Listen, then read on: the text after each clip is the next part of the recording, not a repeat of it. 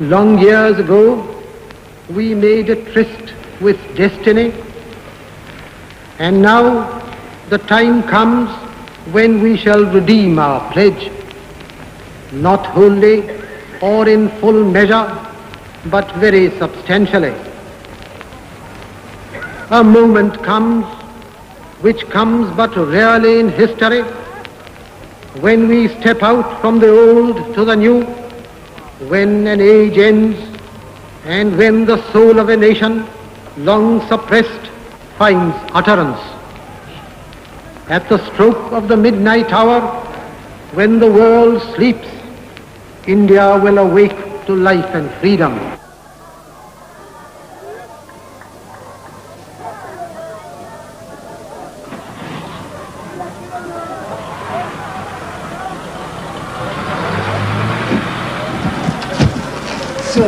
Blimey. More bloody junk. Oh, right. More bloody junk. Oh, come on, let's get weaving. Get these sheets off, see what we got.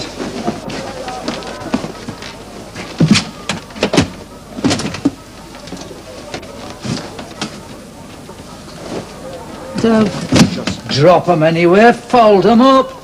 Fold, savvy. This here? Tiger, stuffed. You know, I just about worked that out for myself. They shoot them, then they stuff them. So, That's all right, Sergeant. Good Lord. Is this some more? oh, right so, so. Oh, I found this trunk. Do we know whose it is? No, so I reckon it's been here for years. Let's have a shufty. So, you can be getting the, this stuff down to the lorries. Oh, well. Hmm. Can't jettison the fancy dress, eh? I'm, uh, sorry about him, sir. Oh, no matter, Sergeant. After all, it is their day, their freedom, all they've fought for, hmm? If you say so, sir. Oh, now, what else? Huh. Bet that hasn't seen service for a year or two.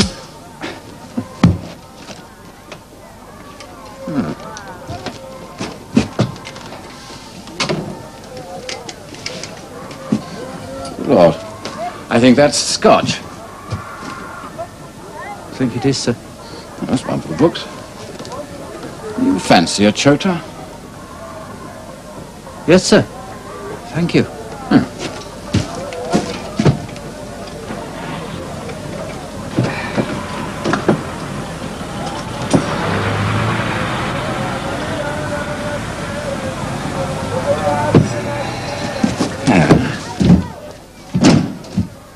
Ah. Um, Kera, sir. Kara. A drink. Join us. Uh, please, sir, yes. Splendid.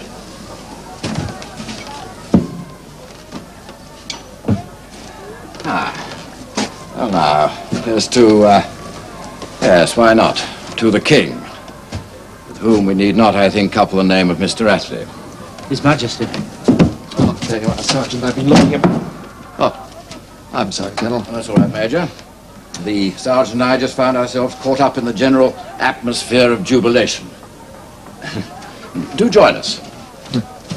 Some bloody wogs whipped the battery from the Land Rover. Oh, not Broad again. daylight. Anything that isn't nailed down, they've stripped the cellar. Well, your health, Colonel. Well, Don't just stand there gawping. I assume all this stuff's got to be moved. Yes, sir. But get moving it then. Yes, sir.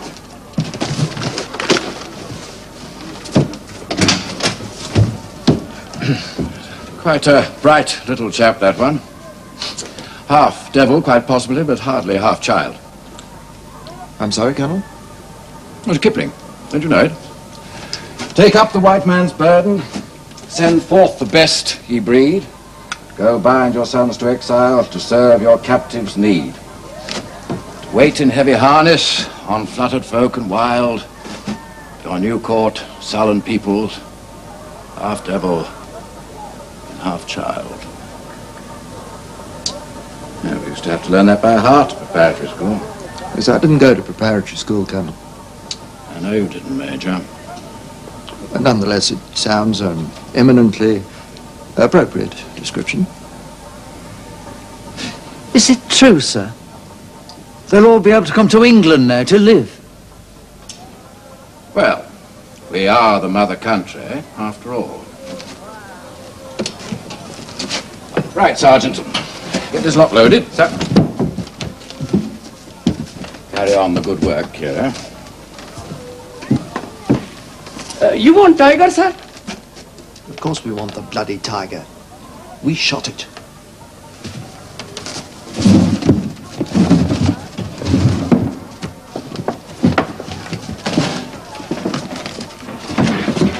You are going straight back, sir? Oh, no, not straight away. I want to go south to Terrapore. Old garrison. Just once before I go. Yeah, well, best get on. Yes, sir. Kidder, I want the rest of this stuff down in ten minutes. And you say yes, sir, don't you? Yes, sir.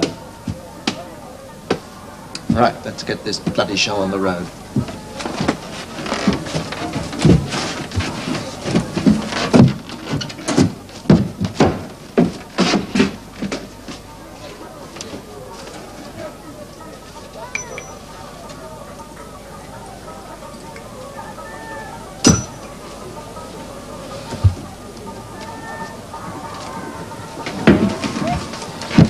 Civis Britannicus sum.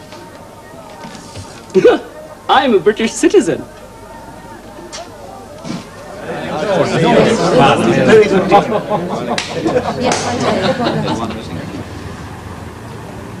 Comrades and friends, once again it falls to me on this our special day to say a word or two. And I can promise that I won't detain you long. Well, that'll be the day. Though I do believe that a good speech should be like a woman's skirt, short enough to arouse interest, but long enough to cover the subject. yes, anyway, all I really wanted to say is how good it is to see a, a group of people like this, particularly the young ones. As we know, as we've seen in Grosvenor Square, a lot of today's young people are attracted to communism as an alternative to the evils of the capitalist system. And they are right. It is an alternative. Under capitalism, man is exploited by man. But under communism, it's precisely the other way around. but we know that, don't we? That's because you told it last year. And there's more where that came from. no, just the one I promised. Story I once heard about uh, two businessmen, in fact, two Jewish businessmen, discussing ethics on a train. and this one says, I have a story that tells you perfectly the problem of ethics. Already. Here I am in this shop I run with my partner, Hein, and this man comes in to get his suit. And I say it is ten pounds and uh, he gives me the money. But when he's gone away, I found that by mistake he has given me twenty pounds already. so here, as I say, I have the ultimate ethical problem. Do I or do I not tell my partner?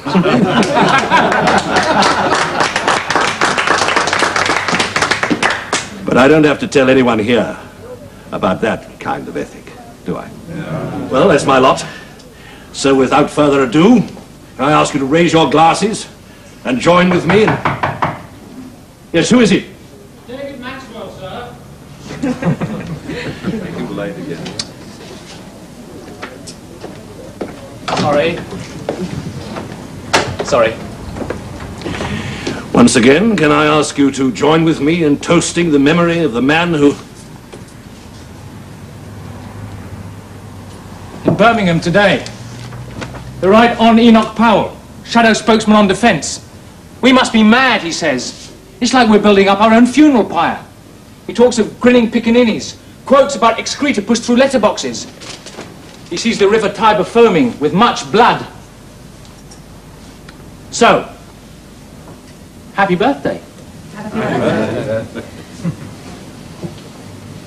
Comrades, for years, I've been battering against a bolted door. Now it's open.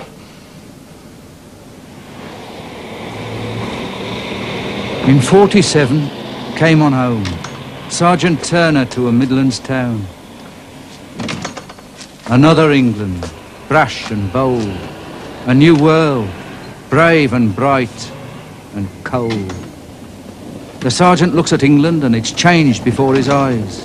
Old virtues, thrift and prudence, are increasingly despised. Old values are devalued as the currency inflates. Old certainties are scoffed at by the new sophisticates. And capital and labour wield an ever bigger clout. And it's him that's in the middle, and it's him that's losing out. Sergeant Turner, NCO. Where's he going? Doesn't know.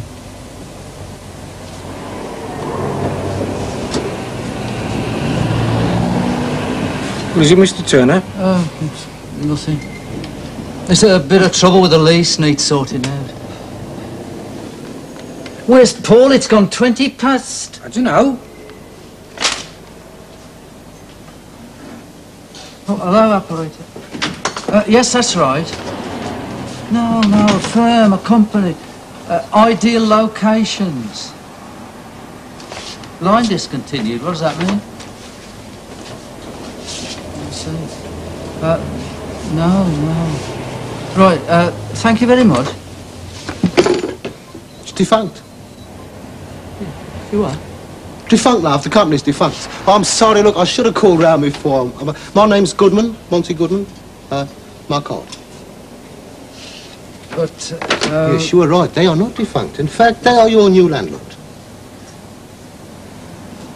What do you mean? They've sold the building, love. Who has? Your old landlord. What? Uh...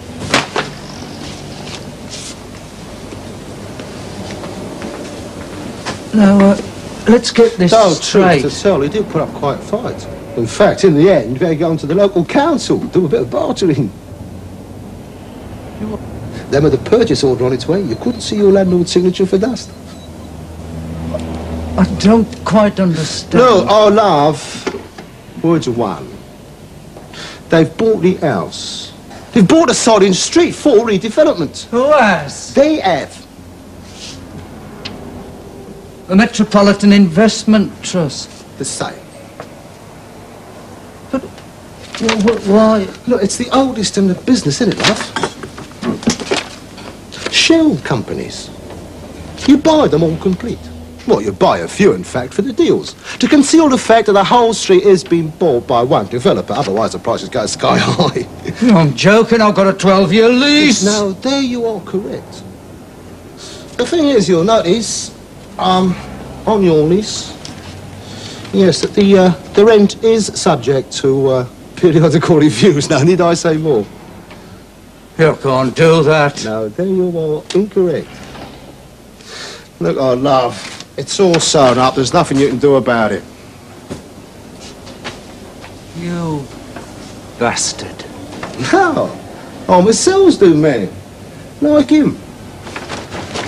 Why destroy my livelihood? Because my joy destroying you will make someone, somewhere, some money. Look, old Shulid. You know your basic handicap? All of you. The little man, the honest trader. Lack of vision. Suffering a gross deficiency of greed. You got three weeks, old love.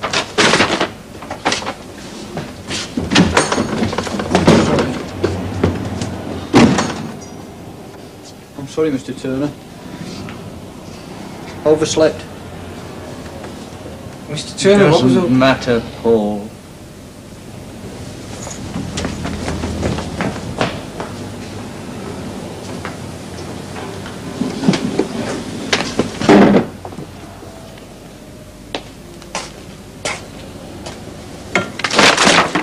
In 47 came on home.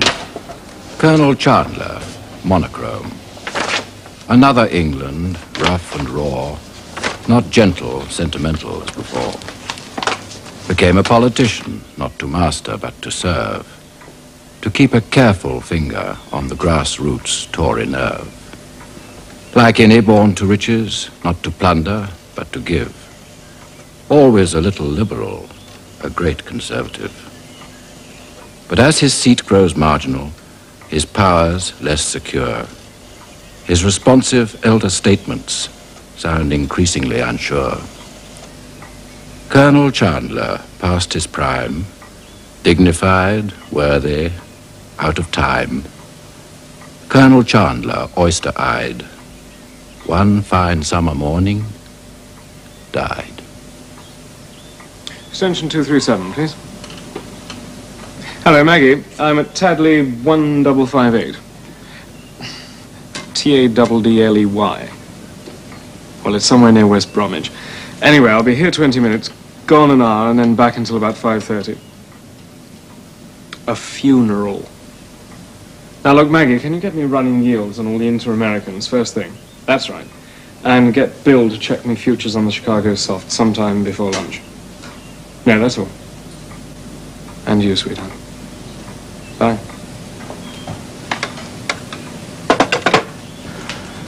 Business goes on, eh, Peter? I'm afraid the market is no respecter of grief. Coffee? Will tell very much. Uh, milk, no sugar. Yes, we're all right. Sorry to see him go. Yeah. I think actually constituency people probably knew him better than I did. Could be. I imagine it was a much safer seat in the old days. Oh, wow. Rural indeed. Nowadays, of course, with the new estates, it's very dodgy. Did he ever think of retiring? Talked about it for ten years, but they don't, do they? Old Tories never die, they just get redistributed.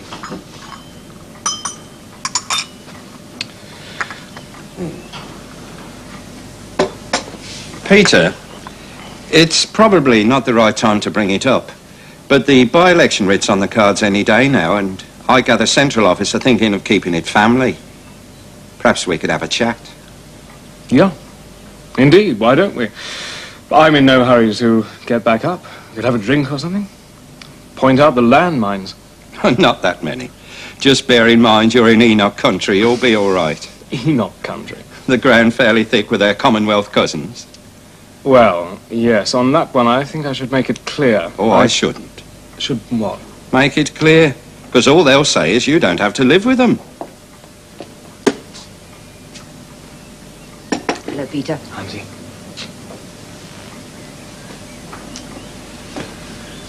Coffee, Sarah. Oh, yes, I'd love some, Frank.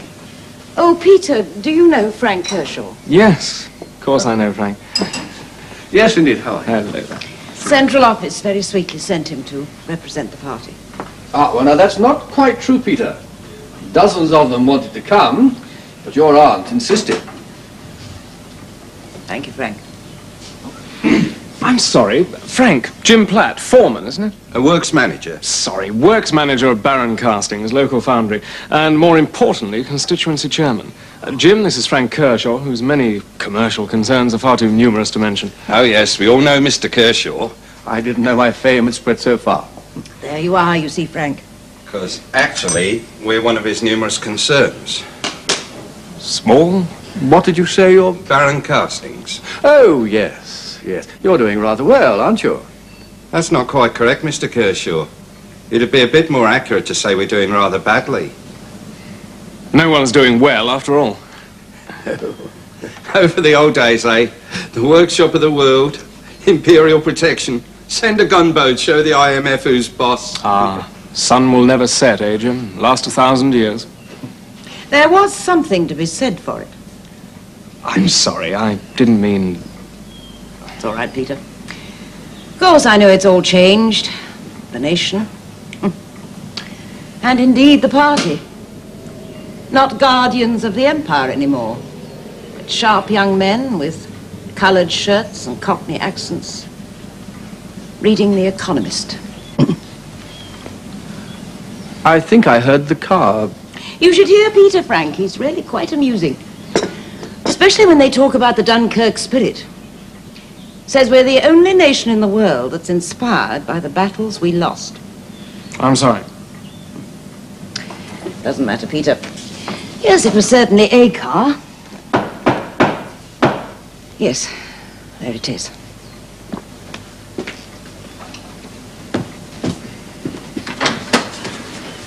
Oh. Hello.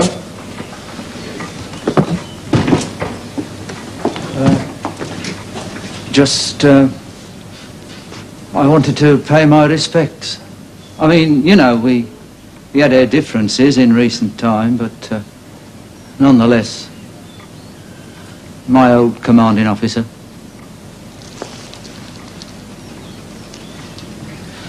Um, perhaps I... Thank you, Mr. Turner. Under half. uh, right, so, calculations are as follows. 40 union delegates eligible. Reckon them as turns up break circa 50-50. So, one for yourself. Thanks. There you go. And then there's uh, odds and sods like uh, women, YS, and the co-op. All for you, okay? Okay. Right, so the keys, the wards. Right, now, um, right wing wards, the ones you lost already, they're marked in pink here, look. Uh, here we are. There. Now the reds you got, no bother. That's Grimley and Broughton Park. All right. The floaters, Stourford and West Thorston. See? Now, as it happens, neither of the floaters got their full quota of ward delegates for the GMC, right? In Thorston, nothing like. And they can nominate from now until they fix the election date, right? And so the strategy, recruit new members like there's no tomorrow, right? Pack the GM, folk will vote for you. It's in the bag. It is? It is. Won't Smalley do the same? Well, we'll try, yeah, but, uh, see, Thorston, we're uh, talking about our pals from overseas, right? And on that, as it happens, Mr Smalley's got his drawers in something of a tangle. The on John Smalley, MP for Sheffield East, from 64 to 70. Speech he made in 68 concerned with Kenyan Asians, the admittance of, I quote, uh, whatever one's sympathies, and I have many with these unfortunate people, uh, one must accept that the indigenous population will not forever stay silent when faced with what appears to be the thin end of a very thick black wedge. God. We do a leaflet, bung it round. We got it by the plums, Bob. Like a gerbil in a bucket. That's the lot. Right. Now you deserve another. I do. That's all. I'm most impressed. Oh, well, sir. It's just a matter of know the rules. And then exploit them. Use.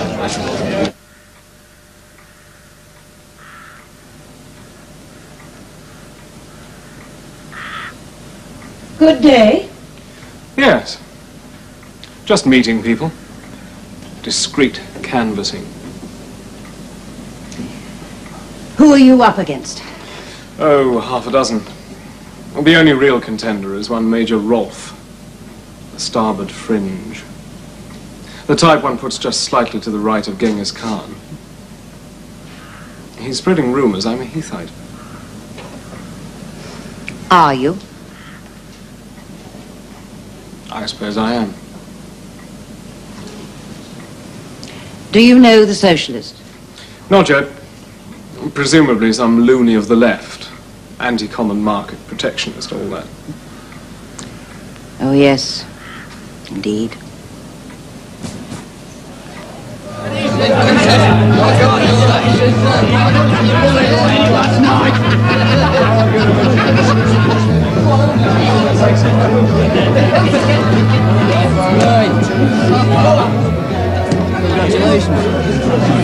Good end to you, you got it all right. Nearly right, three yards it out. It must have been them buggers Broughton Park has switched. Do you know why? Uh, well, I should imagine not too well shot on the changing colour of the Thorston delegation. Colour both senses. No, no, red they don't mind. so long as uh, red on white. So now, it's just the Tory left to beat. Tory? There's a Tory. In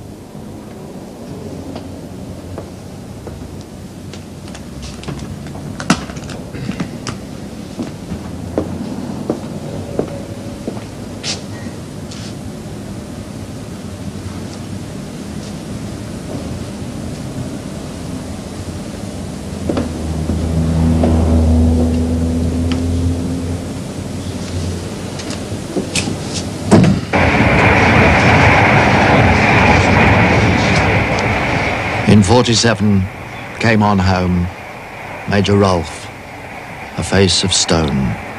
Another England, seedy, drab, locked in the dreams of glories she once had. The Major looks at England and bemoans her tragic fate, condemns the mindless comforts of a flaccid sponge's state, despairs of trendy idiocies repeated as a rote, while the knot of old school tiredness is still tight round England's throat. Sees leaders fat with falsehood as they lick up every lie, the people's blood grown sickly with their driving will to die. Major Rolfe sees the light, calls for a counter from the right. Major Rolfe, starboard seer, loses, for they will not hear.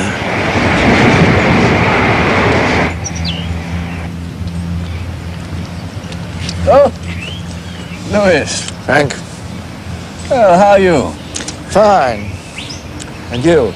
Oh, I'm fine. How's the boy? Alan? He's fine, just been promoted. Ah. Captain. Splendid. Sails for Belfast on the midnight tide. That's fine. How's business? Brisk. And yours? Surprised, by the way, to hear you didn't get the Taddley nomination. Were you? Yeah. I wasn't. Didn't stand a chance, I thought. Not up against the perfect opposition. What you mean? Oh, come on, Frank. He looked just right. Knew all the right words, too. Humane, concerned, constructive, moderate. But just the right note of apology in his voice when he had to admit to being a conservative as well. Yeah, I think I know him. Isn't it Peter Crosby? He's the nephew of a friend of mine. Oh, then you'll understand. Obsession with the mythic middle ground. And such surprise when he discovers that it isn't there. Oh, well, what's it matter anyway, the state the party's in? What state might that be, Louis? Ah, full of self-loathing, gutless, pandering to all the trendy myths, still genuflecting to the sacred cows of Congress House. Oh, come along, Louis. All that's changed. I read my Daily Oh, Telegraph. Ah, yes, of course we'll say the party's altered. Now we've understood we have the right approach. And yes, of course, at party conference, our new and true blue leaders to a, to a person. Bang the drum and flap the flag. Just learn from history. In practice, come the crunch, the flag they wave omits the red and blue. Will it be any different next time? Hmm? All right, Louis. What's it all about? It's all about the state we're in, and who, in Peter Crosby's grave new world, is going to defend it. Louis, surely not. Not what? Not Suffolk military geriatrics drilling private armies on their croquet lawns. No, there's no need for private armies. Well, exactly. When we already have a public one. Not in England. Interesting fellow, Alan's brigadier. He's worked it out. Rather frightening, what they call scenarios. There's one that's particularly scary. It starts with unofficial miners' strikes in Yorkshire. Then there's occupations of redundant steel mills in South Wales, but things don't really start to take off until the OPEC countries halve the price of oil and cause the English pound to drop right through the English floor. Oh, why talk to me? Oh, not just you. Any managing director of a major British company whose shares were 260 18 months ago and at close on Friday just topped 34.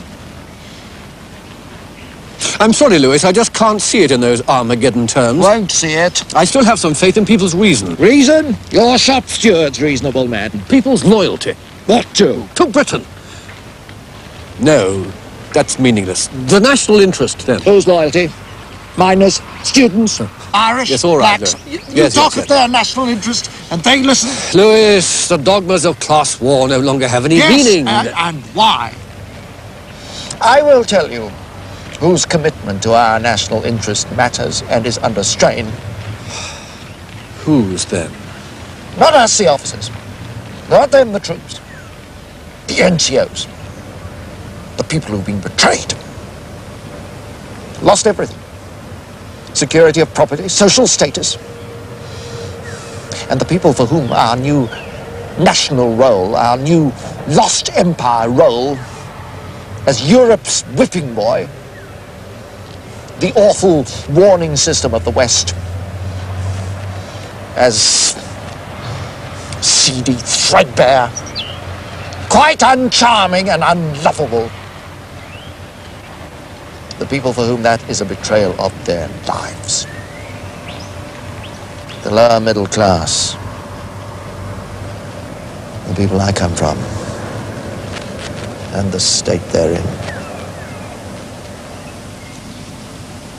Let us commemorate and commend to the loving memory of our Heavenly Father, the Shepherd of souls, the giver of life everlasting, those who have died in war for our country and its cause. They shall grow not old, as we that are left grow old. Age shall not weary them, nor the years condemn. At the going down of the sun, and in the morning, we will remember them.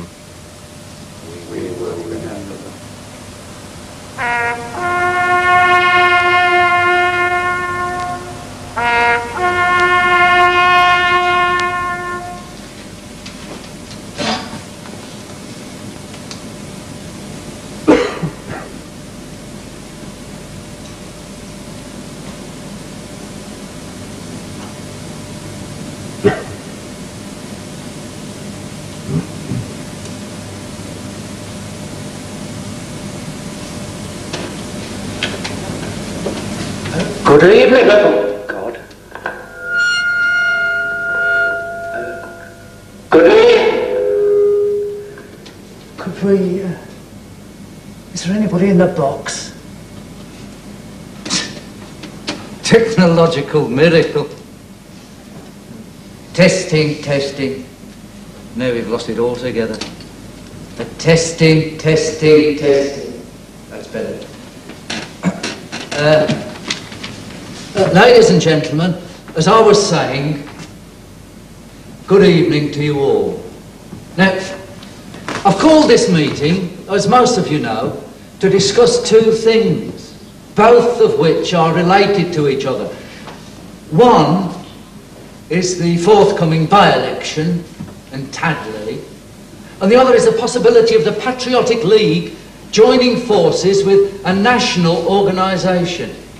And with that in view, we have here tonight Mr David Maxwell, who is a leader of the Nation Forward Party, a truly patriotic organisation, as I'm sure you'll agree when you've heard what he's got to say. Uh, first, though, there is the uh, question of uh, paying for the room. And I wonder if anybody Um, would care to... I'll, I'll do it, Mr. Chairman. Oh, thanks. Always collect before the speaker, eh? oh, uh, while we're doing that, you should all have a bulletin. And there is uh, one thing I'd like to draw your eye to on page four. The item on parasitic worms at Thorston Junior. Because I have written to the medical officer of health about this. I think he's been a bit fed up with me, actually. Anyway, perhaps in time he'll get fed up enough to do something about these immigrant problems in our schools. Uh, he wrote back in his usual soothing vein. Perhaps sometime he'll learn that the patriotic people of Taddley can't be soothed that easily. No, no. Uh, one of the things I said was that the, the thing about these parasitic complaints is that they're passed on by the cutlery and by using the same toilet. And he didn't say much about that in his reply. Well, there was just that one point uh, I wanted to point out to you before handing over to Mr. David Maxwell, who will explain to us all about uh, Nation Forward. Thank you very much.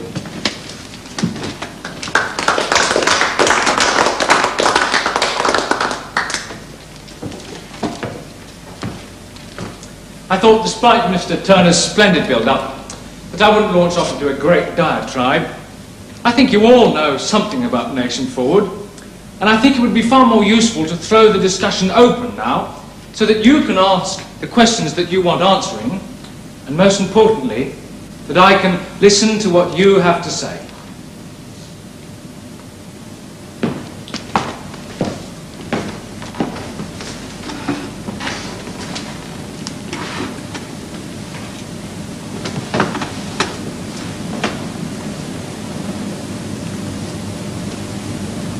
That stunned them all into silence, Mr. Maxwell. Come on, I'm sure there's somebody. Well, one thing I think people might want to ask... Mr. Chairman, Oh, Mrs. Howard, I thought you'd find your voice sooner or later. Mr. Chairman, I have been a member of the Conservative Party for 30 years. That's what I wish to say. Is that... Well, it, uh, it would be complete anathema to me to support or vote for any other party. Well, you However, saying... I, I'm, I'm afraid the party is not what once it was. Once it represented all the finest values of the middle class. It's now gangrenous. Oh, I'm I, am sure sorry, it's infiltrated from the left. The cryptos, the, the pale pinks. I'm sure of it.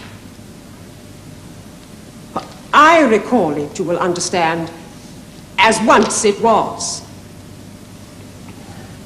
That's all I have to say. Mrs. Howard, could I say that yours is entirely our view? Oh, Mr. Chairman, I'd like to say something. Um, I'm sure what the lady says is true, but it's not just politics. Uh, my husband, he can't be here tonight. He lectures at the Poly, and he's convinced of several things. One is that these so-called foreign students aren't studying at all. Well, they turn up once and then they disappear. He's also sure that almost 75% of the lecturers, and some of the- of them are immigrants, are communists. And because of this, he might lose his job because he's a, a, a patriotic person and he makes no secret of it. When they make the cuts and they're going to, he'll be the first one to go and the unions won't lift a finger. And, and another thing, it's folks like us who are working for Britain that are suffering the most. Like when they talk about home ownership, what happens? The mortgages go up so far you can't even afford the payments. So you say, okay, we'll sell. But even that's impossible. Our house is in West Thorston. And if you say you're from Thorston, they start talking to you in pidgin English. So you can't sell or buy. And people get desperate. I mean, really desperate. Seems no way, you see.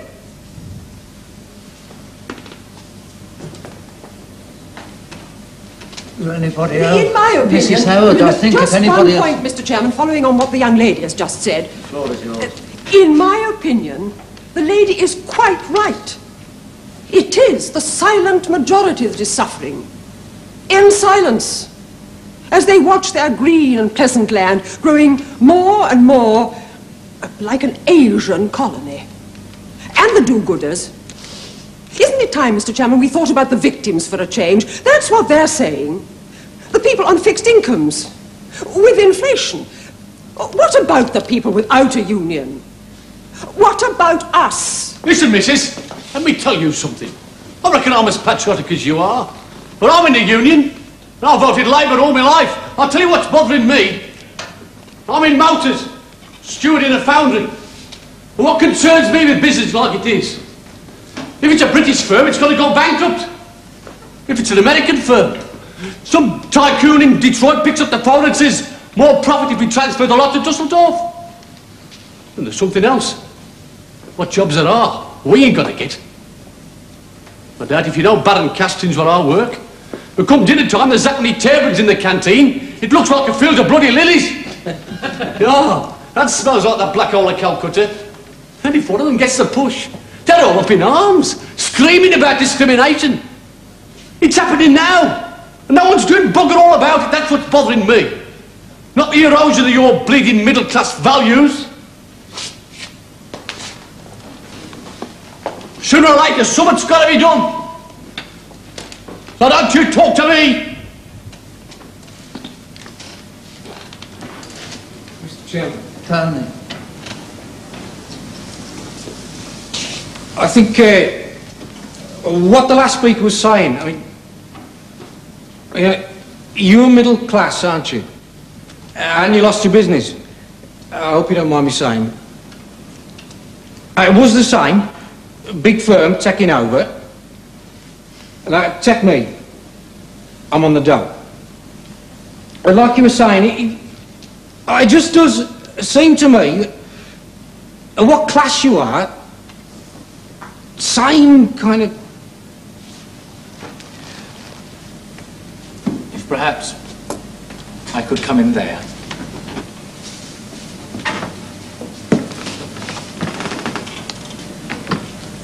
Well, my friends, I said I thought I'd learn a thing or two from you, and by God, I was right. We've heard about subversion in the colleges, from Mrs. Howard, about the Tory party, and for Mr. Atwood on the local industry. But it's my view that the last speaker really grasped the point. That what we have in common is greater by far than what divides us. I am sure, for instance, that Mrs. Howard does not oppose trade unions as such, but their perversion to political ends. I'm convinced that Mr. Atwood does not oppose honest profit, but speculative profiteering. Of course, we disagree on many issues, but more, much more unites us than divides us.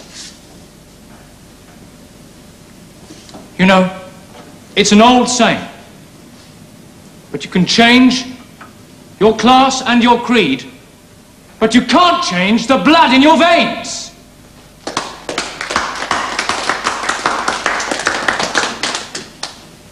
But I'm afraid that we have something else in common here. To use a light-hearted phrase, we all feel things ain't what they used to be. More seriously, we all of us observe a gradual decay, disintegration in our fortunes and the fortunes of our nation. And perhaps there is a reason that we have a common enemy. Oh, it looks like many different enemies. To the young lady, it's the college reds. To Mrs. Howard, it's the banks who recklessly promote inflation and destroy her savings. To Mr. Atwood, it's the multinationals. And it's called by many names. Names of things we are taught to see as opposites. Liberalism. Communism. Finance capital. Things that, in fact, aren't opposite at all. Do you know there are people who still laugh when we talk about a conspiracy, even when we look at those people who are promoting immigration, even when we look at those so-called guardians of free enterprise who sell their grain to bolster Bolshevism, there are those still who laugh when we talk about a conspiracy, a world conspiracy. But there is one small group of men and women who do not laugh. There is one small growing party which can see what is happening and is determined to reverse it. That is Nation Forward. And I hope, in all sincerity, that you will wish to join this party. Join with us and make our country great again.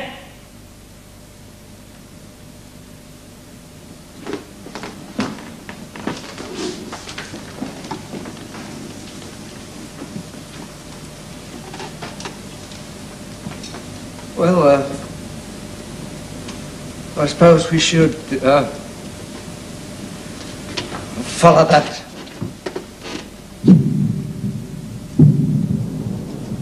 In 58 came on home Gurjeet Singh Khera to a Midlands town. Another England, another nation, not the England of imagination. The labour market forces have an international will. So the peasants of the Punjab, people factory and mill, the sacred Kesh and Kangha, Kacha, Kara and Kirpan, the Sikh rejects, so he can be a proper Englishman. Keep faith in human virtue, while attempting to condone the mother country's horror at her children coming home. Gurjeet Singh Khera, once a slave, returns to haunt the empire's grave. Dennis, Richard Cleaver. Good to meet you, Dennis. Thank you. Uh, good to meet you. Liz. Yes.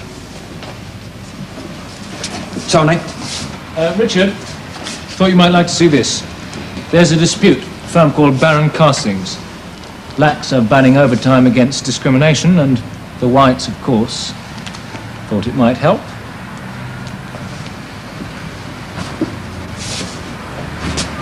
Manna from heaven.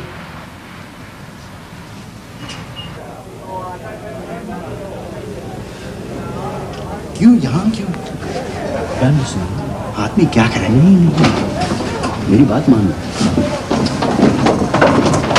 Right, lads. Uh, you know Prakash? Mr. Carey, Bob Clifton. How do you do, sir? Right. Shoot.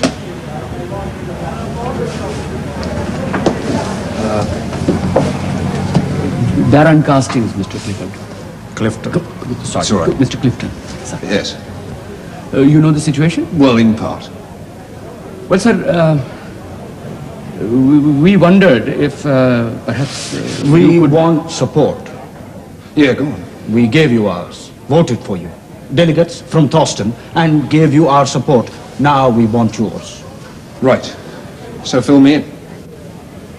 Uh, sir, the, the dispute at Baron's began as a conflict over retime jobs.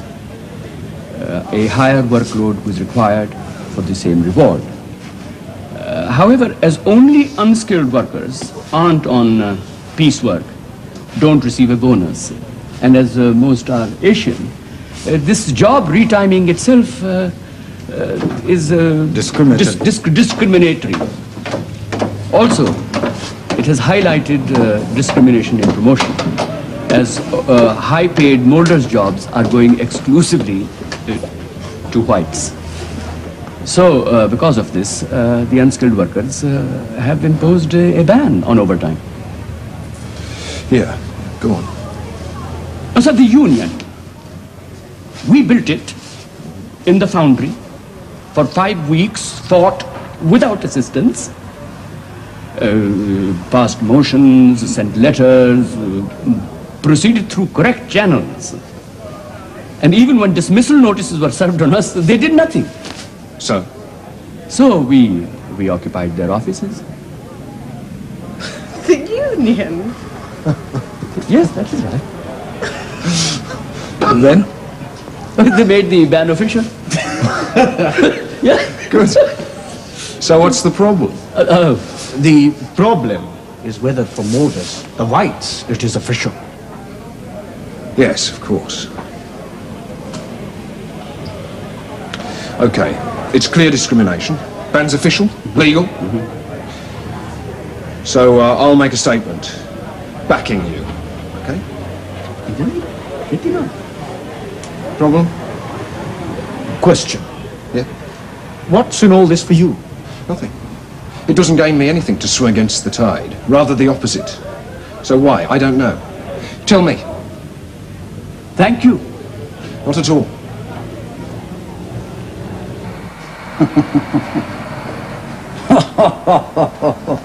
What is it, Mr. Turner? Clifton Labour. You're blathering about this nig dispute of Barons. He could have got his prick caught in his zip if he don't watch out. Morning, Dennis. Morning. Tony. In the story. Tory's not much better. Rather worse, considering. Oh. David. Lose you're a treasure. Dennis. Oh, by the way, Dennis, did you manage to look through the draft address? Oh, uh, yes, yes. Problems? Well, actually, uh, yes, one or two. Uh, Shoot. well, uh, wait, you'll laugh at this, but I found some of it a bit left-wing. In what way? Well, I mean, a lot of it's great. I mean, the stuff on the Nigs and Law and Order's red hot, but uh, this business about import controls and uh, nationalising banks, I mean, well, you know what I mean. Not exactly, no. Well, I'm not sure how it'll go down. You mean with the Tory voters? Uh-huh. but we're not just after Tory voters, are we? Well, no. But, I mean, there's stuff in here about opposing wage controls. Of course we're opposed to wage controls. Only insofar as we believe the crisis is created by ruthless international speculators and it should not be paid for by the British working class. See? Mm, still. Good. And there's a parasitic worms. I beg your pardon? Uh, medical officer's report on parasitic worms amongst immigrant schoolchildren. Yes, well, I thought it best to keep it fairly general. This, this proves what I've been saying all along. Yeah, surely, surely. But we do have some general statistics. This is bloody dynamite. Look, Dennis, we are not, we can't be, just a pressure group on any single issue, even one as central as the colour question. We are not merely hardline patriots. We are not certainly ex-Tories with a thing about the wogs. We are, Dennis, British nationalists with a cogent, distinct world picture of our own. See? I don't think you know him round here. All right, Dennis. I'll bow to your superior local knowledge. Ah, splendid. Veritable hive. Morning, Richard.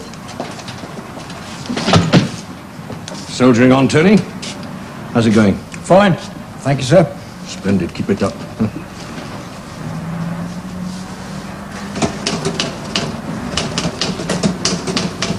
Mulling over the address, huh? That's right.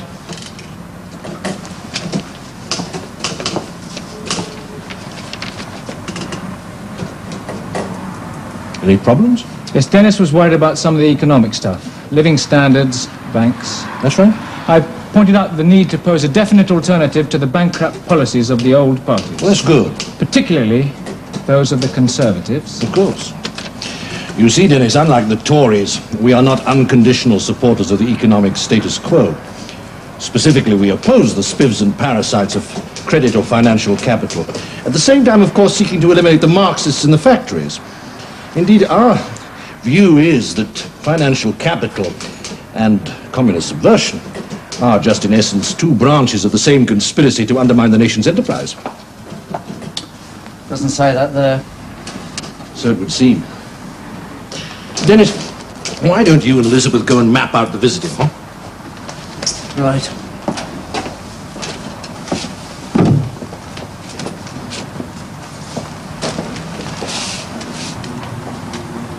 And Tony, too.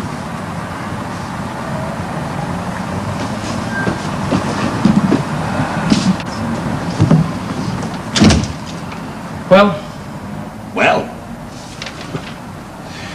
nation forward believes that the cause of our present crisis is not the legitimate wage demands of British workers, but the domination of our economy by a tiny clique of international capitalists. The very people who deliberately import cheap foreign labour and cheap foreign goods to undercut our wages and to throw us on the dole. Well, drop the wog bashing, it could be Tribune, David. So what do you want? Wicked unions holding the country to ransom? Eastbourne, Uber alles, because that's what Turner and Where in all this jolly stuff on the thieves' den of the stock exchanges and support for free productive industry? And where amid all this merry rhetoric about the plight of ordinary working folk is the need to isolate the commie wreckers? And where, in the midst of all this happy talk of democratic structures and meaningful participation, is the hint, no more the hint, that all men are not equal, and that some were born to lead and others only fit to follow? Some, I suppose, meaning you. David, I am liable to lose my temper. It. I have had all morning with Turner and his medical paranoias. I am trying to run a campaign from a disorderly shoebox staffed by juvenile mental defectives. And to be quite frank, I couldn't give a toss about your temper.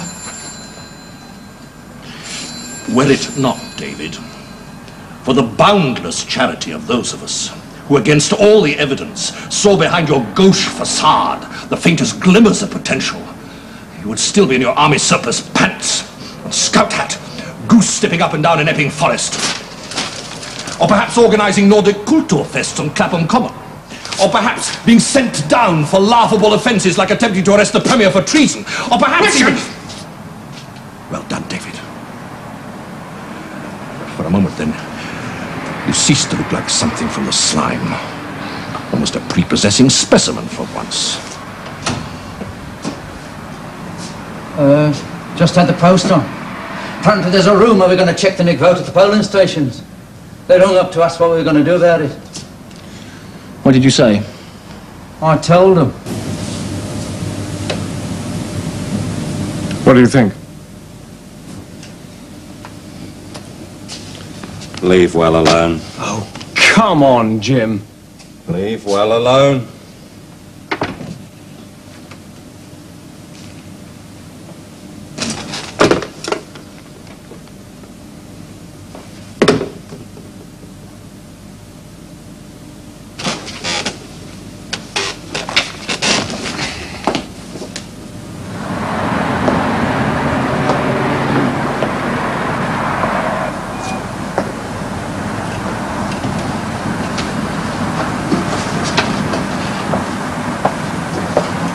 He's coming. He's coming.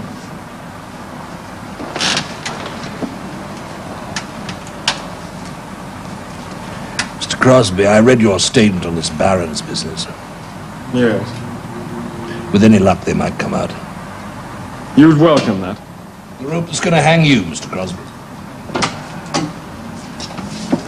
Ah, Mr. Crosby, to what do we owe Mr. this? Turner, I've just been studying your plans to sabotage this by-election. Sabotage? I've come to ask you to reconsider your plans to harass immigrant voters. Quote, we do intend to monitor black voters during the election at the polling stations. Oh, after the Nick vote, are we? I have most unwillingly come. I... You know as well as I do that half of them meant entitled and the other half votes twice. Will you reconsider? Will I, L?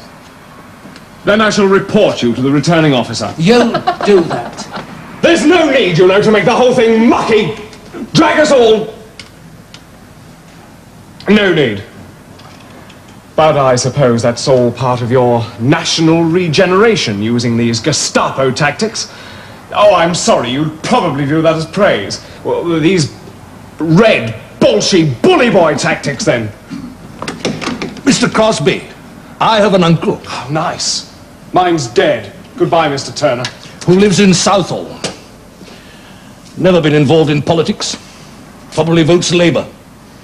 And this harmless old fellow is quite genuinely terrified that after he's dead, sometime in the future, an Indian temple may be built over his grave. Which may seem absurd and, what's the jargon, paranoid to you. And it might seem very passe, very old-fashioned and very unhip to say that that old boy did not fight in two world wars to die for whatever reason, an unhappy, lonely, terrified old man. I think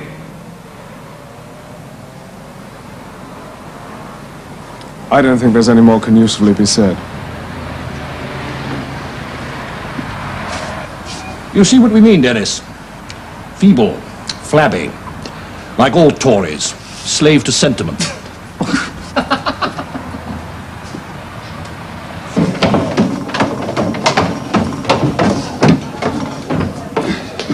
well, Ah, hello. Thanks for. Uh... What do you want? I want to talk about collaboration. I beg your pardon? A common front. On what?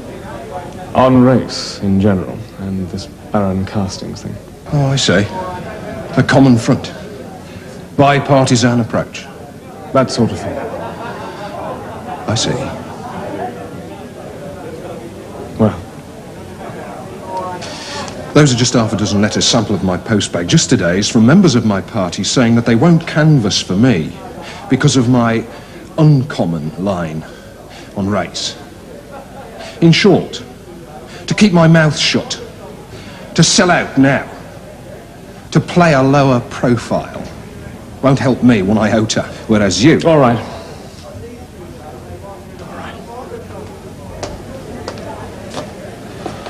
I went to see them. Nation? Yes. Alarming. Well, you stagger me. More than that. More than alarm. Go on. More.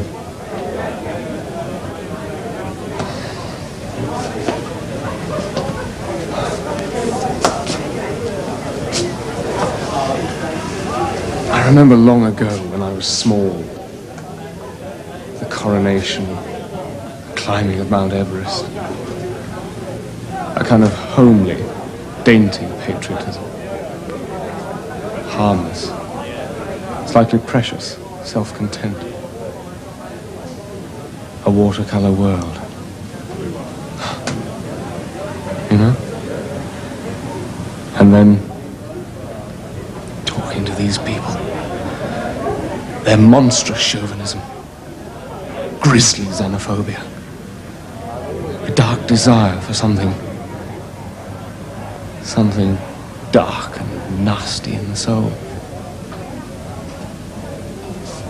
And I thought, oh no, they can't be, can they? Our creation? Alter ego? Somehow? All these ghastly people.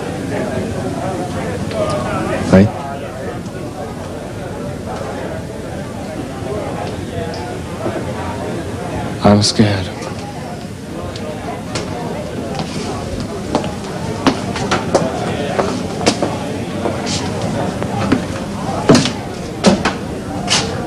Well, what were all that about? Absolvo. You what?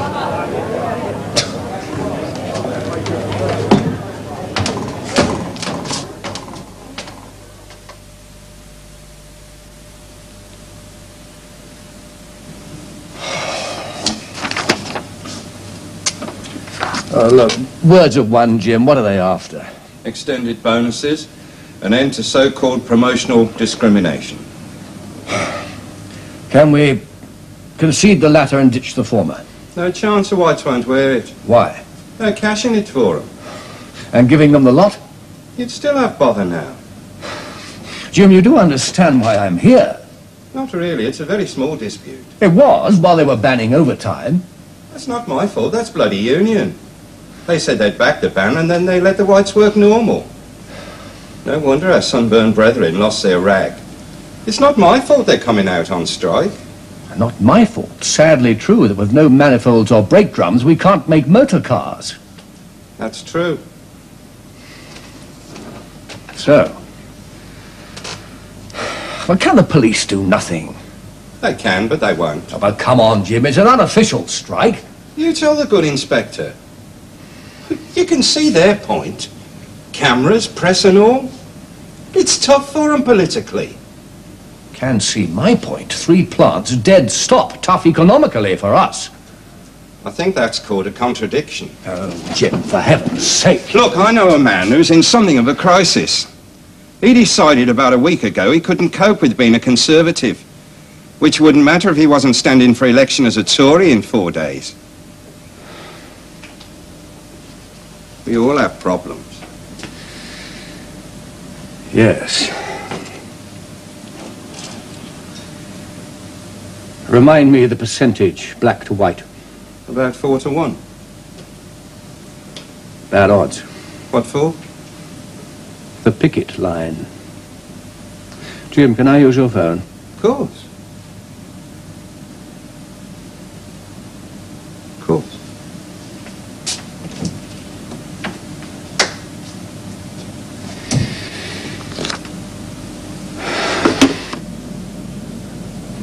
Mr. Turner, would you admit to racial prejudice? We all have a natural and healthy preference for our own kind. Colour? Well, that's what I mean. Certainly giving a nation a British passport doesn't make him British. Cat? Now, after all, if a cat's born in a kipper box, doesn't make it a kipper, does it? and have you heard the one about the packy? Repatriation. Ordered and compassionate, humane. But we are honest enough to say that this cannot be voluntary. That includes all immigrants who are born here. No. What's wrong? Well, how on earth can an immigrant be born here? By remote control? No. Well, that's exactly what the hecklers want. And on the same score, Dennis, don't say they breed like rabbits. Why? Because then some joker shouts out, Queen Victoria did too. All right, let's strike at Baron's. The main priority must be to resist present attempts to secure a backstairs deal between the immigrants and the company. Above, Over the heads. over the heads of the British workers. A deal which once again would prove Prove.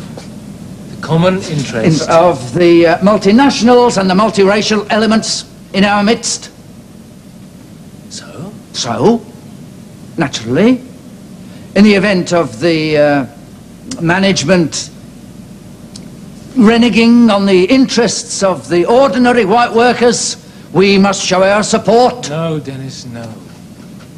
In the event of the management selling out the interests of the rank and file white workers, we must demonstrate our solidarity. Oh, oh that's right. Oh, sorry. Mr. Turner, I wonder if you could tell us just a little more about this common interest between the multinationals and the blacks. Well, it's them that attracts them, isn't it? I, they advertised in all the papers over there. And then when they're here, it's them, the multinationals, who encourage them to so-called integrate. I see. Now, why should they do that? Wages? Ah, to uh, undercut the wages of the white workers. Only wages. Jobs? That's right. To take jobs that would normally be given to the whites. No more than that. Nothing to do with makeup, breeding. And they aim perhaps to mongrelize, What? to turn our nation to a mongrel race of khaki half-castes. Oh, ah. Ah, that as well, ah. Come on, Turner. You're just fascists in sheep's clothing. Tin pot out to overthrow democracy. That's not true. Come on, question, answer it. All right. If you'll let me, there's a simple answer. We want more democracy. We think that at the moment we're controlled by an undemocratic, cosmopolitan elite of Wall Street puppeteers who are behind the plot to undermine the nations, the free nations, and impose a one-state world which is under their control.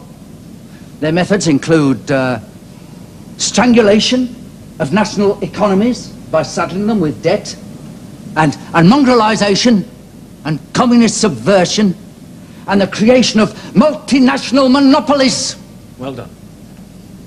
In its place, we wish to build a truly democratic, nationalist society in which the views of everybody. Oh. What's funny? Oh, dear. What's funny? Wall Street in alliance with the communists. Oh, dear me. They financed the Russian Revolution. Financed the Russian Revolution? New York bankers? Oh, that's rich, that is. Well, it's been said. Look, I mean, for heaven's sake, what on earth have the financiers in common with the communists? Just tell me. What on earth in common? Just tell me. What on earth in common? Richard, I don't get it. Or put another way, what British landlords, British tenants, British workers, British bosses have in common. The race? Can't hear. The race! And so, the others. Rothschild, Marx, Kissinger, Rosa Luxemburg, Oppenheimer, Lev Davidovich Trotsky, what they have in common. Richard, I'm not an anti-C. Dennis, the man who took your livelihood away, what was his name? Goodman. Monty Goodman.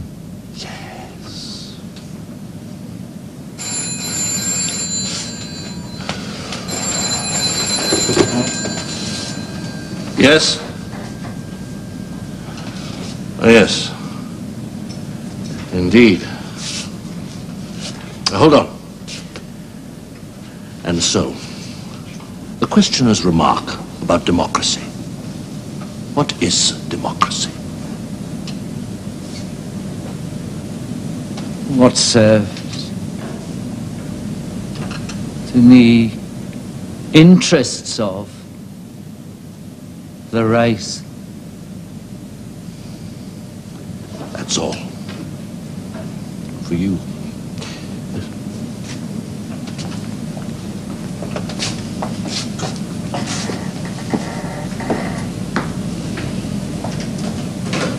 Hello?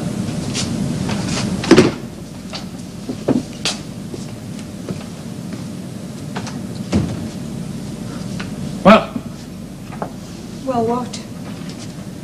can't you see what he's doing? Who? Herr Oberstgruppenführer. You know, he really has this vision of himself, he really does, in cap and flashes, striding through Earl's Court or somewhere, flanked by courts of the blondest and the brightest. I mean, okay, the triumph of the will.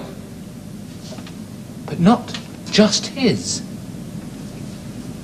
I don't in fact care how it comes about. I want a reason to have children. Yeah. That's right.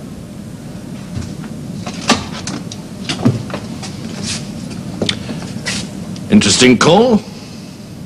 Head office? No, not head office. Man asking us a favor. David, good night.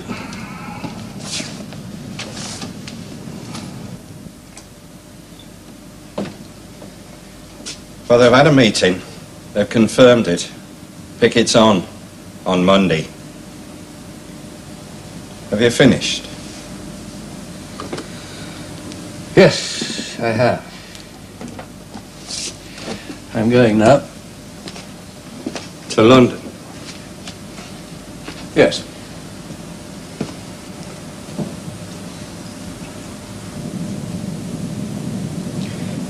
I think Mr. Cleaver wants you to go home. Like now.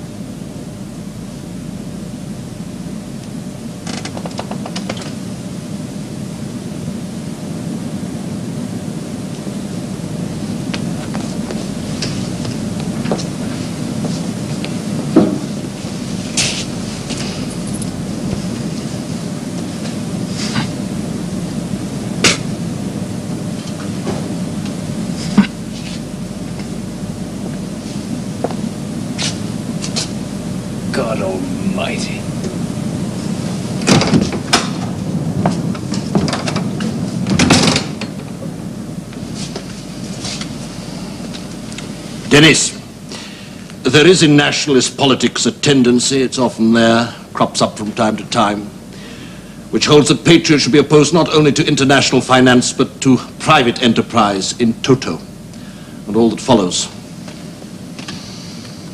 An obsession with democracy. Masses is against the individual, distrust of leadership. Marx, dressed up in patriotic weeds, that sort of thing. There comes a time when we cannot afford that sort of thing. We've had a little purge.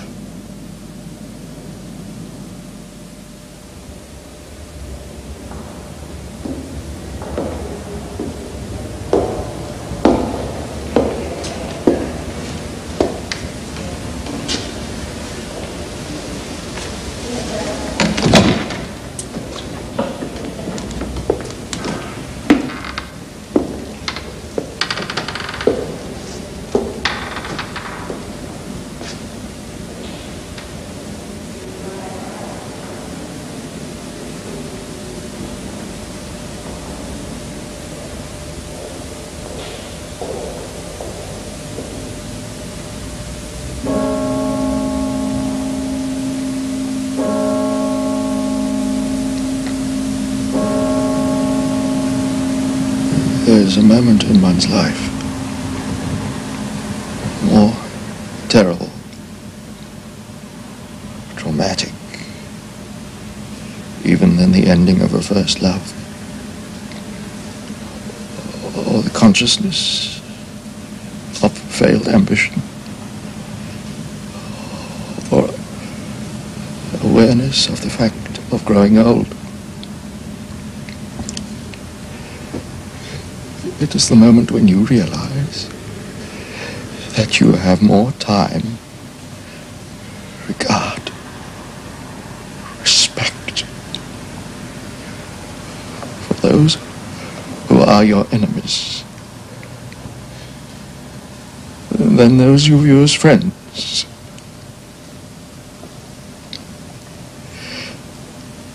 That moment came to me last night while sitting in an aeroplane and flying northwards west across the Irish Sea um, to fetch the body of my son.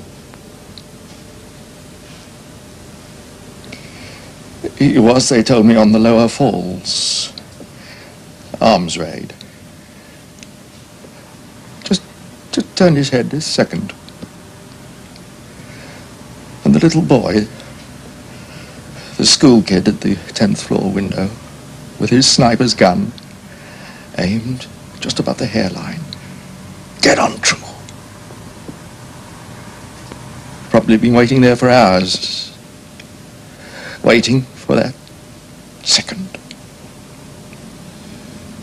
Patiently. And on that plane, I realized that I had more time for him, the 12 year old boy killer from the Divis flats. Child with his Russian rifle. Far more time for him than they. The generals, the ministers, assured us that the sun would never set. The generals could not prevent my son in his high morning, his sun going down.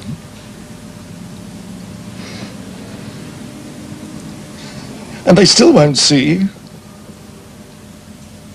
will they? Generals, ministers, police chiefs, they won't see that we are at war in Belfast, Bristol, Bradford, Birmingham. The one we lost in Bombay 30 years ago, the one we're going to lose in Britain now, unless they see in time. Not thugs, nor lunatics, nor dupes of Moscow. Just ordinary men and women, sane and normal. Thousands of them. And there's no time. They're everywhere. Deep, deep inside the gut. There's no time. The sun has set. Should not remember, we should not look back, but think instead only of the morning.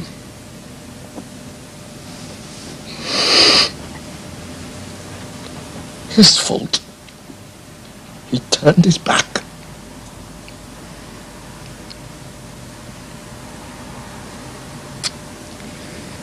They say they'll get them in.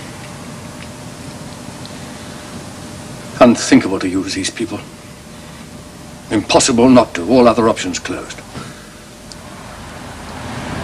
They say they'll break the line and get them in.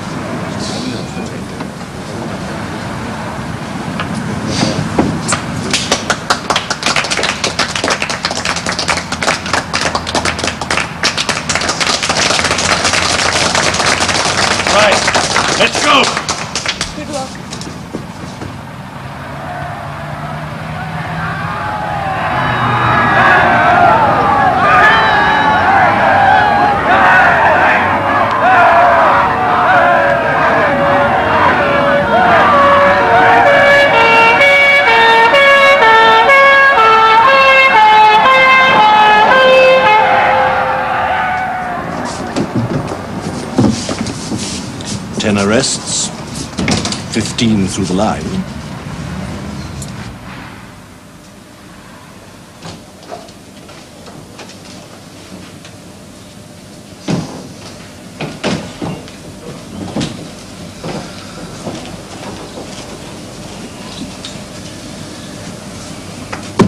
Well, there we are. There we are indeed.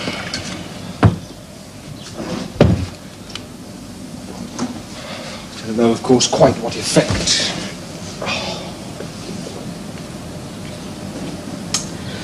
I do. Your voters, most of them, will back the whites. You think so? No. I know so.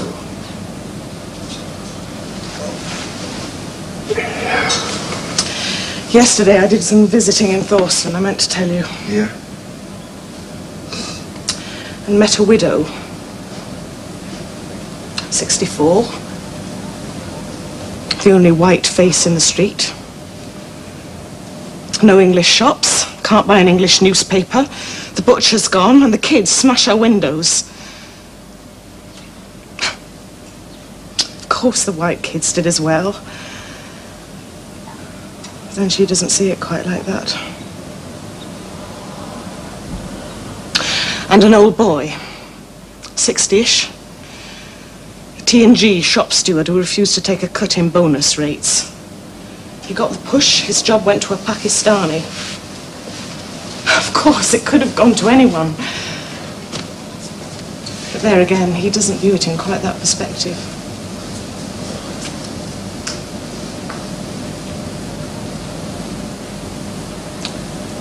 And a man I know.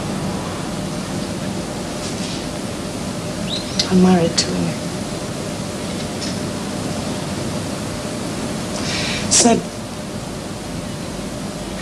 working through the Labour Party, Broadchurch, all that, kind of need to make a deal.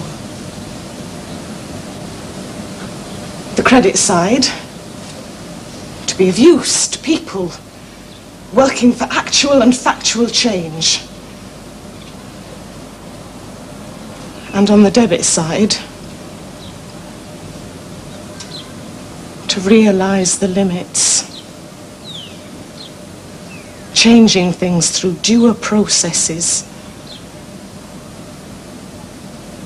The slowness, loss of purity. The need to listen to Vox Populi. Be brave enough to compromise.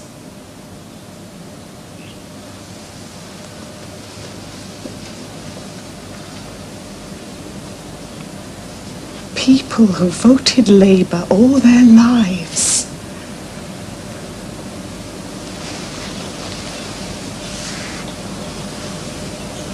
What's all this for? For when they come and ask for your support again.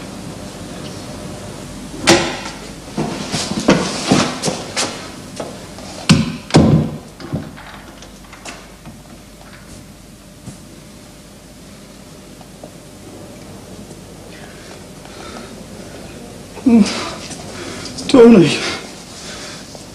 Oh. Well, don't you meet people in... in the strangest places? Hey, look, Bob. Don't mean to pry or anything, but uh, what are you doing in here, like? Got arrested. Snap. Waiting to be charged. Yeah. Snap again. Uh, Bit of aggro up at Baron Castings. yeah. You know, there's this uh, dispute. Yeah, yeah, uh, sure. So you were on the picket line? Of course, we're on the bloody picket line. We had to break the bloody picket, weren't we? We? Yeah, we. Nation forward. I was on the picket line. What's bloody fun funny? Blimey, Paul McShane. Great fighter for the working class. Siding with a gang of nigs to undercut the wages of his brother worker. Oh, Tony, that's Listen, why don't you people ever realise? What? We didn't ask for it. Ask for what? Have backies take our jobs and houses. Turning England's green and pleasant land into a nation's slum. We didn't Uh, ask for uh, green and pleasant. Yeah, just like round here with all them uh, lovely trees, verdant foliage. For Christ's sake, Tony, who have you been talking to? I don't need to talk. I know. It's in the blood. The spirit of the race. Oh, Christ. The bleeding master race. Oh, blimey. You really don't know, do you? Know what? Your real enemy. Well, actually, I take the old-fashioned view that for the working class, the enemy... Oh, ah, the bosses. Which? Well, answer. Have a sniff, Paul. Got a nose. Can smell the alien stinkle, can't you? Oh, yeah, yeah, sure, can do. Yeah, smell the foul stench of all them uh, black speculators, packy stockbrokers, Jamaican managing directors. Not them, Paul. No, not them. The ruling class. No, Paul. The ruling race. All history is the struggle of the classes. All history is the struggle of the races. The workers of all races must unite. The workers of all classes must unite. Come down to it, the choice is socialism or barbarity. Come down to it. It's Zionism, one world tyranny, or us. And when we win, get rid of them. There'll be no need for conflicts, class wars, strikes and all. Then capital and labour work together in the interests of the nation. Putting Britain first, the nation over all. Of course you can sneer at rice and blood. But everything you got, Paul, comes from that. Everything healthy, worthy. Everything with any meaning values from the blood. Because seed don't die. What we are don't die. Passed on from generations. Passed on from legions of the dead to legions of the living, legions of the future. Tony, last time they said that, ended up shoveling people No, into Paul. bloody ovens. It didn't happen. What? You see, they couldn't. Not six million. Ain't worth six million anyway. Tony, uh, Auschwitz and all just factories. The photos forged. The whole thing was trumped up. Invented by the Jews. You're a Nazi. Yeah. That's right. Too good for them! Right, Mr. Patel, let's go through it just once more. You claim you entered when?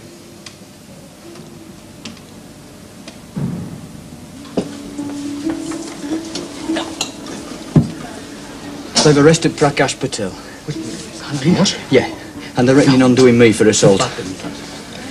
Sit down. Uh, now look, Bob. If you rang the dailies now, you could get a They- statement. They're doing Patel for assault. Uh, no, no. Oh, I thought you said... Illegal immigrant, sir. Immigration Act of 71. But There's an amnesty. It doesn't cover. He's an overstay. Came in here as a student, just didn't go back. Poor sod. Where is he? At the cop shop. And they found out? Oh, Platt. It has to be. The bastard knew and shopped him. Yeah. Well? Right, now he's an overstayer, right? Oh, well, so they say. But he is. Well, I suppose so. So, in fact, he's breaking the law. Well, yeah. Now, that does make it, well, a bit difficult.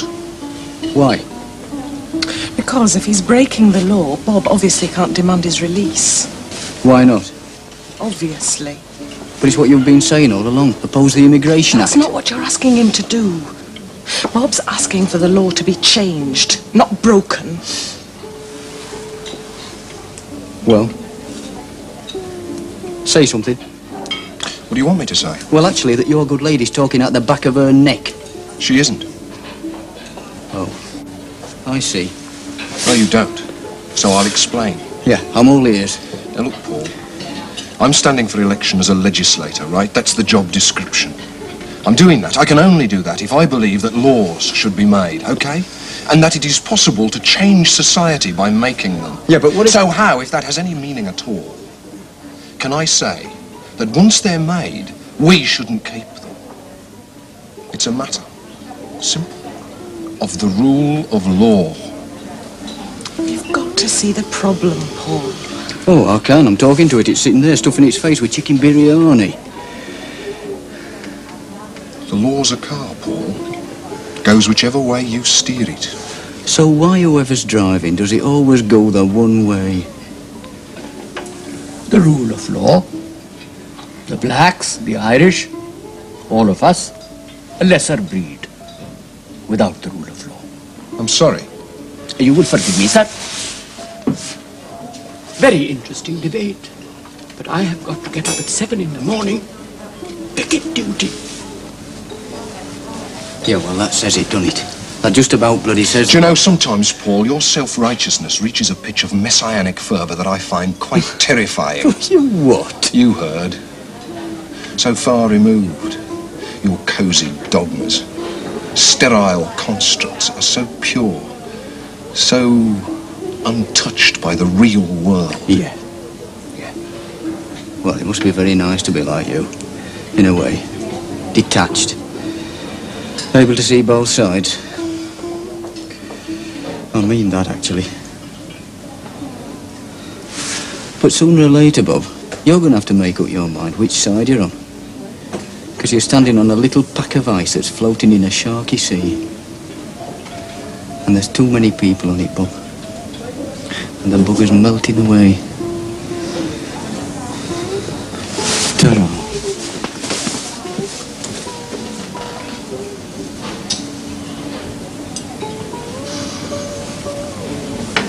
Well done. I didn't have much choice. You did. Poland has been like today's by-election in Taddley near Birmingham, where the Conservatives are defending a 1,127 majority in a four-corner contest. Hopes are rising for a settlement of the three-week-old. Comrades, comrades! Hey, can we have that thing off? Following mortar attacks by Popular Front Sorry, comrades, interrupt the evening. We've got a brother here with us. Uh, Don Matthews from Baron Castings. Just a few words, you know, sure. Brothers? Brothers, please! Brothers! Uh, I'm sure you've all heard about this business up at Baron's. You know, press and all. Uh, and though this evening we're like more concerned with casting votes than what we are with casting. Castings. You know, the cast... Sorry. Uh, oh yeah, been arrests, uh, and one Indian, he's an illegal immigrant and they're reckoning deporting him, uh, and obviously the strike committee's after money. Pay the fines, fight the deportation, all that. And it's all about, this strike, about promotion, this, um, well, you know, being promoted all, uh, alleged. And as you know, it's unofficial what they're doing. And you'll know that most of us, the whites, well, don't agree with it and broke the picket line and kept on breaking it. Some, of course, a few, they stayed away. Perhaps they don't like breaking pickets, even coffee-coloured pickets. So they stayed away, avoid the bother. And some, that's even fewer, you can bet. That's very few. They even went and joined the bloody picket line. A few, like me. And that's no ball of fun. Because let's be honest, all of Taddley, not just Barons, hatred running through like Blackpool runs through rock. And blokes are saying, well, I don't mind them, but me mates, so I'll keep quiet, you know. I mean, it ain't that easy, place like Barons now. I mean, the rot's that deep. They won't see what war they're in. Who with? Because, I mean, what's the Nazis now? They're comic bits in Colditz. They won't think what happened in the past. Won't think about tomorrow. Because first will be the blacks and Asians.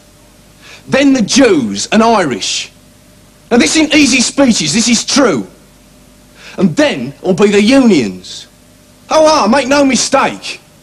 The Labour Party. That'll go. The others too.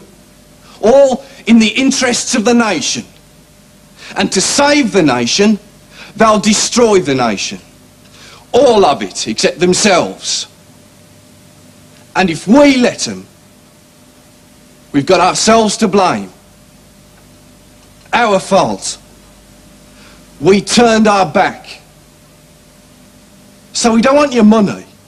Well, I suppose all right, but if that's all you're giving, then forget it. Want you on that bloody picket line. That's all.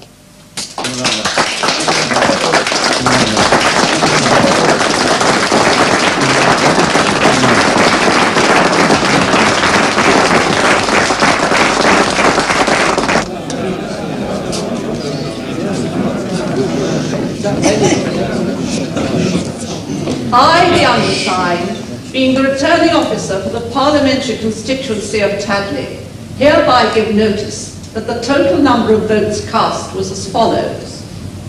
Bennett, J. Liberal. 1,052. Clifton, Robert John. Labour. 10,096.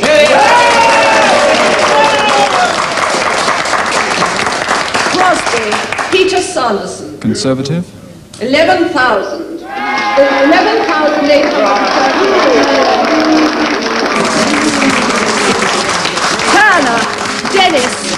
Turner, Dennis. Turner, Dennis Stephen. Nation forward. 6,933. And that the undermentioned person has been duly elected to serve as member for the said constituency, Peter Sanderson Crosby.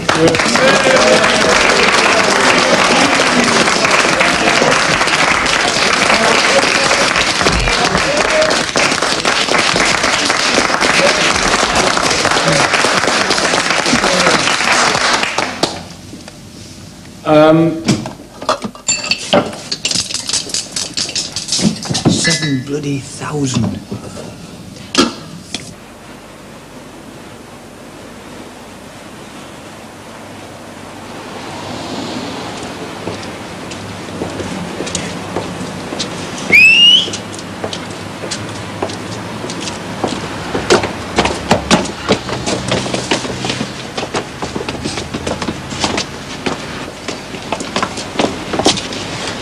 Well, like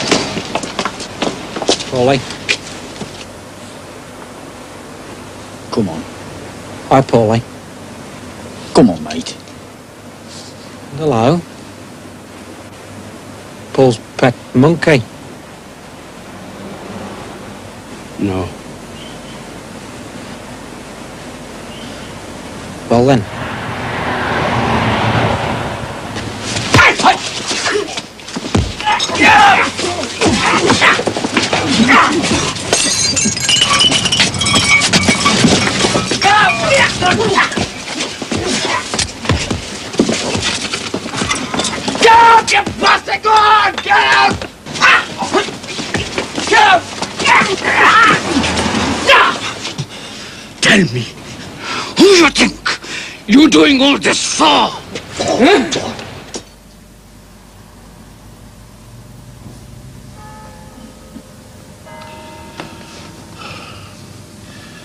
Said they might be late.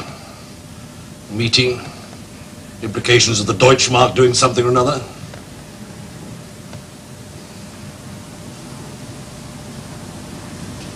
I was there, you know. In 1857. No, from 1945. Richard, I'm sorry. This is Lewis Rolfe. Hello. How do you do? I'm Dennis Turner, Lewis, who I think you've met. Oh, yes, indeed, long time ago. Congratulations, Dennis. Oh, thank you, sir. Oh, there's no need for that. Well, 23%, you'll be delighted. Oh, uh, low poll, but uh, it's a start. Deposit saved is a deposit earned. Mm. Well, uh, do please sit down. Thank you.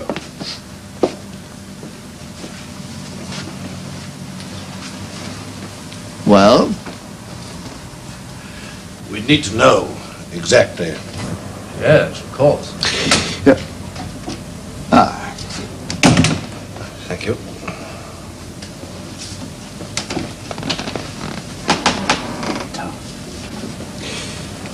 Well, gentlemen, in answer to your question. Nothing. Yet. It's just a matter, see the whites, each other's eyes. Perhaps the word's insurance. Against the moment when the center, the liberal and democratic center, cannot hold. When, in extremis, there might be a need to go to the extreme. To bind the nation to itself. Unite the Durham miner with the Surrey stockbroker, the East End navvy with the Scottish laird. To bind the barrel fast with hoops of steel. An ideology. Red, white, and blue in tooth and claw. Sometime There's more to it than that, of course. Fighting the Reds wherever they appear. The schools, the factories. Why not the police? The police are isolated. They don't know. You, the Reds, are on your streets. You know. The army? Can contain, perhaps. They can't destroy. We also combat international capital. We also need protection. If it means control, You scratch us, we scratch you. you'd sacrifice the free of enterprise. We might, in order to preserve the privacy of property. One doesn't like the dentist, but perhaps to save a tooth. Hmm. Physicians. Army, police. Just tranquilize. To numb the pain. You surgeons. Use the passions. Rechannel the hot blood. Send it gushing down another artery. Conditions? There's no question of conditions. There's no question of a deal. But if we were maybe a tendency among your people, shall we say, a little far to port? Oh, yes, our little group of racial Trotskyites. Well, Maxwell and his Bolshevik band aren't with us anymore. I see. And money? Not yet. Not yet at all. And this um, approach is just you? Just us. Hardly United Vehicles, not now. Hardly the Metropolitan Investment Trust. Not ever. Oh, yes, I see, of course. What did you say? I'm sorry? What did you say your firm was? The Metropolitan Investment Trust. Well, shall we continue? Have a lunch? Why not? Yes, I thought we might try somewhere new in Cornhill. That is, if you like Italian. Oh, thank you.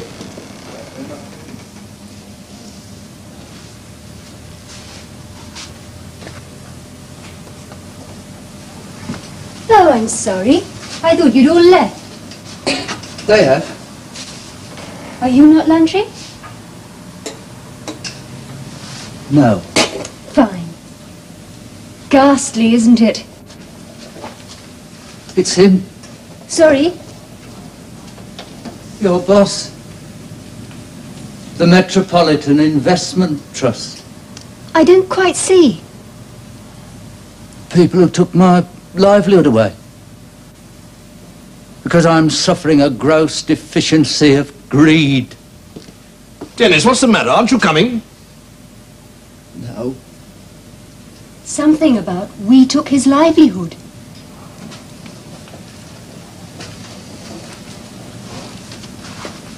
Dennis, it doesn't matter. Well, that's in the past. The future, that's what matters. Think of the morning. Not might, not could, not will. It is. It is happening here. And what can stop us now?